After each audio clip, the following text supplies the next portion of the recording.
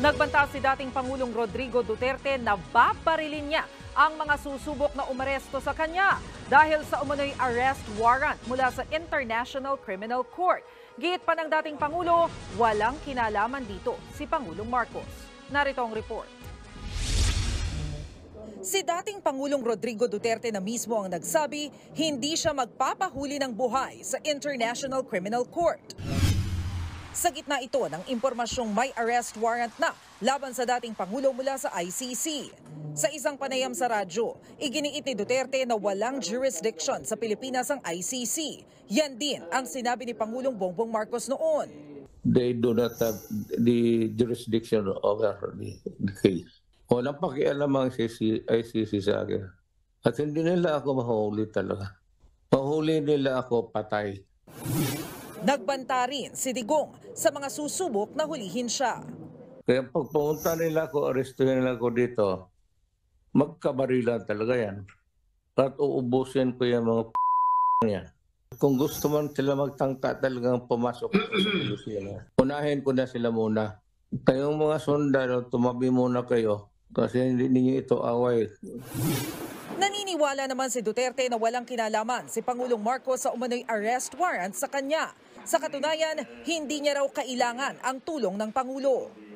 Let me be very clear on this also. Uh, Mr. Marcos has nothing to do with the ICC. As a matter of fact, I am not asking for his help. He was the he was not the one who uh, asked the ICC to come here to investigate. A- a- ako na ang bahala sa sarili ko dito. I will deal with the ICC myself. naman yung puhulihin ng ICC. Nang tanungin naman ang Assisting Counsel to the ICC na si Attorney Christina Conti, maaari naman daw maglabas ng arrest warrant ang ICC. Ang warrant of arrest ay maaring i-issue talaga ng International Criminal Court kapag panahon na at kumbaga eksakto na kailangang mag-cooperate ang isang ah, akusado o isang iniimbestigahan sa investigation or kapag siya ay kakasuhan na ang magsisimula na ang trial.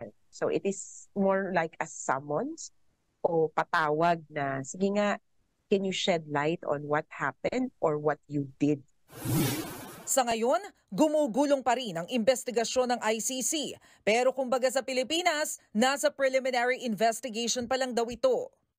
what I can confirm is that the investigation in the Philippines is ongoing. Okay? Whether they came here physically or not, that is something for them to confirm or to um, to speak on.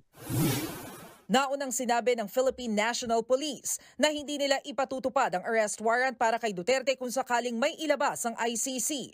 Ayon kay Solicitor General Menardo Guevara, nagbaba ng direktiba si Pangulong Marcos na tanging PNP at ibang law enforcement officers ang otorisadong maghain ng arrest warrant sa bansa. Sa ngayon, wala raw nakikipag-ugnayan sa Solgen na kinatawan ng ICC tungkol sa umano'y arrest warrant laban kay Duterte. Nagbabalita mula sa Frontline, Maricel Halili, News 5.